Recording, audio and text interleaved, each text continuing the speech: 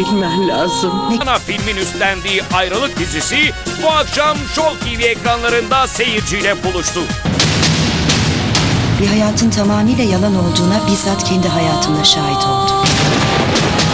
Ermeni kızı Maria ile Türk genci Yunus'un aşkını işleyen dizinin senaryosunu Kurtlar Vadisi'ndeki Halo rolüyle tanıdığımız Sönmez Atasoy yazıyor ve başrolleri kızı Fadik Atasoy'la birlikte paylaşıyor.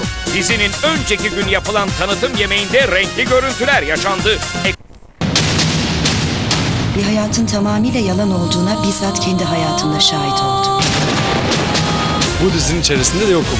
Ayrılık dizimiz başlıyor. Sönmez Atasoy'a yani Halo Ağa'ya gelince Altın Portakal alan kızı Fadik'le birlikte aynı dizide rol alan Atasoy büyük gurur yaşadığını dile getirdi.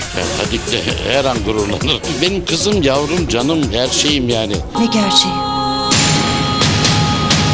Dizinin yönetmeni Şaşmaz kardeşlerin en küçüğü Zübeyir Şaşmaz. Polat Alemdar Zübeyir'in 2007'nin starı olacağını iddia ediyor. 2007'nin starı Zübeyir Şaşmaz. Şaşmaz.